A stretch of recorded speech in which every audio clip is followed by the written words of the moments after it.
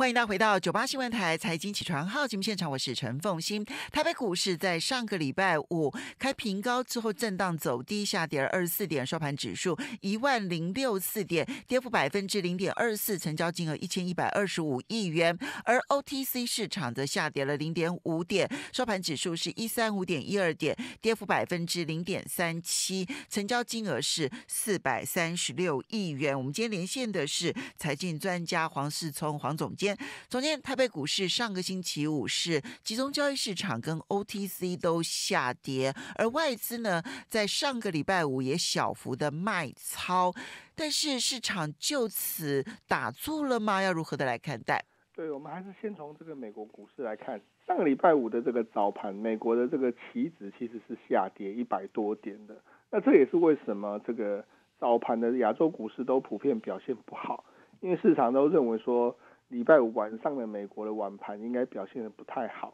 就没想到呢，美国的这个晚盘的这个表现呢，确实比这个日盘表现的要更好。当然有非常多原因，包括说像这个中美贸易谈判是不是露出了部分的这个曙光？嗯，那虽然中间的话，这个有川普签的这个紧急命令的这个状况，这个好像就是一个利空出尽的一个状况，所以导致整个美股出现一个大涨的这个情形，包括大。包括道琼呢上涨了四百多点，那纳斯达克也上涨了四十五点，S M P 上涨了二十九点，那费半也上涨了七点，约莫涨幅都在零点五到一点七四个 percent 左右。那因为其实跟早盘的这个表现是完完全不同的，所以我们去看到这个夜盘中间的这个台子期啊，事实上是上涨了五十九点，也就是说它又突破了一万一千点的这个关卡。那如果以这样来看的话，我觉得今天是很有可能会挑战这个这个之前的这个高点，要这一波的个这个高点。那这一波的高点的话，事实上我们可以如果注意这个从 K 线来看的话，它这一波最低跌到九千三百一十九点之后往上持续的反弹。那反弹过程中间越过了下降的季线，那现在季线已经翻成这个往上，那同时一路的往上走，那往上走的过程，我上个礼拜曾经讲到，它有可能会受制于。下降的半年线，那这里这个呃上个礼拜的这个过程，大概就是被半年线所压制。嗯，现在半年线约莫是在一万零一百一十六点，那上个礼拜就一直没办法突破一万一千点的，没办法站稳这个关卡。嗯，那如果以今天来看的话，今天应该是有机会去往上挑战，但是挑战的过程中间，我还是讲，其实一个很重要原因就是量能一定要放出来。那目前的这个状况就是。到这一波为止的话，这个最大量呢是在二月十三号的一万四哎一千四百零五亿左右这个水准，所以要能够再往上放，放到一万五百哎一千五百亿甚至一万一千六百亿以上，然后有机会就翻越过去。所以要比上个礼拜的最高的成交价还要来得高，对，没错，成交量还要来得高，成交量蛮蛮的要来得高。不过。现在看起来的话，如果今天没办法往上攻的话，我是比较担心，就是因为现在的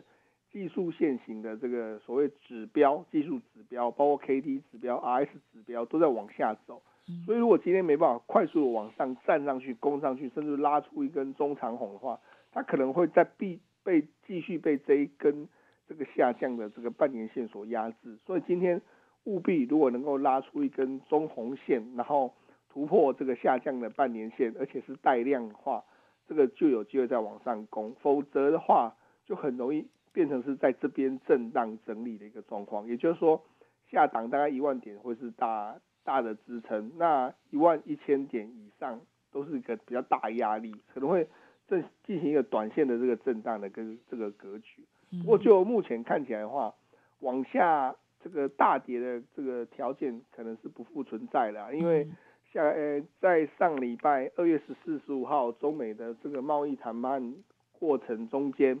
又传出说这个下礼拜，呃，这个礼拜又即将展开新一轮的谈判，所以就这样看起来的话，市场都在期待的，在这个三月这个二号啊，三月一号之前，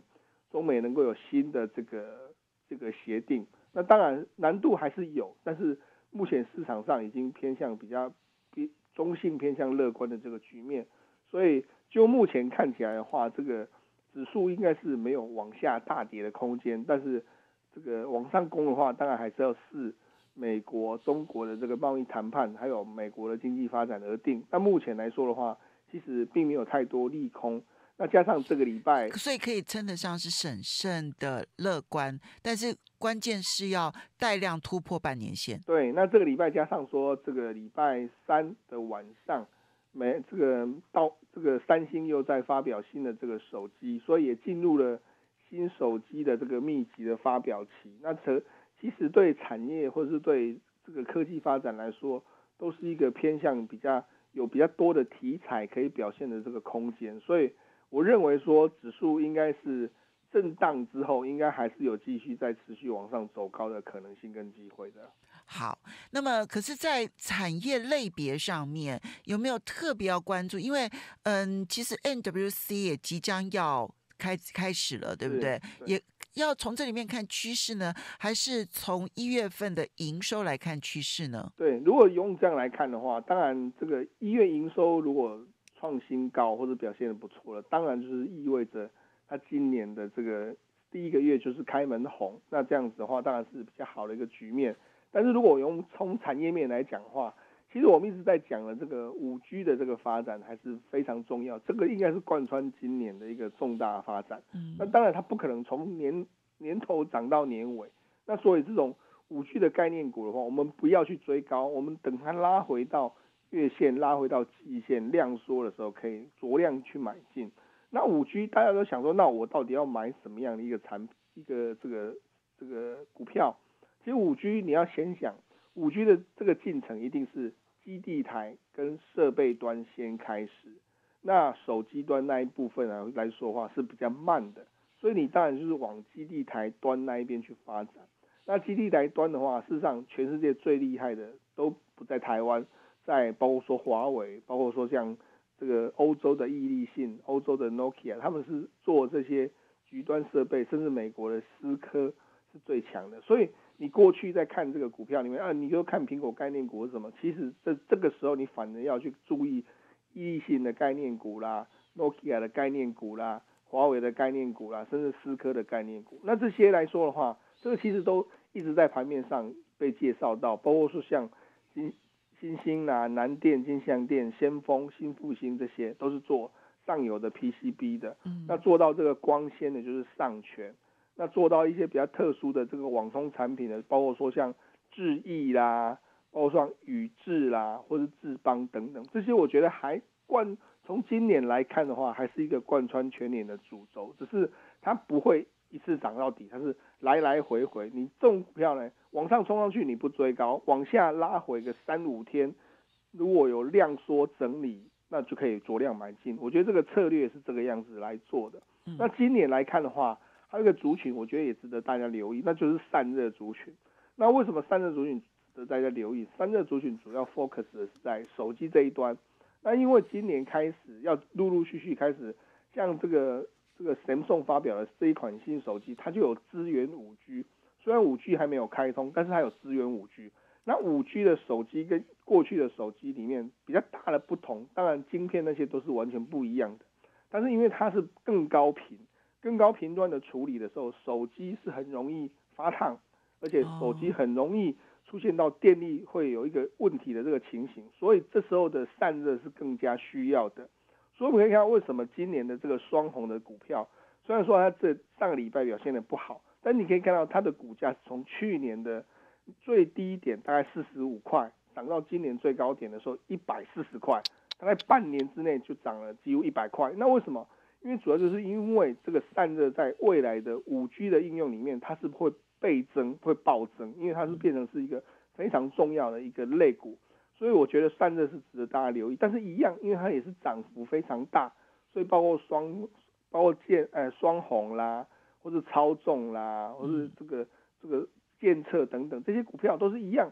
涨多不追高，拉回到月线、季线的时候，这些都是可以留意跟观察的。另外一个就是跟这个所谓的这这个礼拜要发表的 Samsung 的手机，它有一款是比较特别，是它用这种所谓的折叠式的面板。那折叠式的面板，这个也是一个新的题材，所以我们可以看到上个礼拜的这个台股中间有非常多折叠式的面板的股族群都已经表现的不错了，嗯，包括说像明基材、奇美材，还有达麦等等都表现的不错。因为今年看起来非屏阵营当中，折叠式手机好像已经成为主流了。是，而且这个这个的话会，嗯，新推的那个手机现在看到的趋向是这样。对，而且新推的速度会非常快，因为今年的话。第当然开第一枪的是 Samsung，但是紧接而来的中国大陆的所有厂商，包括说像华为、vivo 或是 OPPO 等等，他们也都已经准备好了。而且这个部分的是面板的话，过去这个 Samsung 几乎是独吃所有的面板，但是在这一块折叠面板里面来说，反而中国大陆是很早就注意到这一块，所以我觉得这个推出的时间会比大家想象中还要更快。那尤其是今年大陆的手机。的面板厂商来说的话，这个今年的这个增产的速速度会更快，所以我觉得其实还有一些跟中国大陆结合非常密切的手机面板的这个所谓的供应链，我觉得也值得大家观察。这里面的话，五二三四的这个达新材也值得大家留意跟观察。它去年赚大概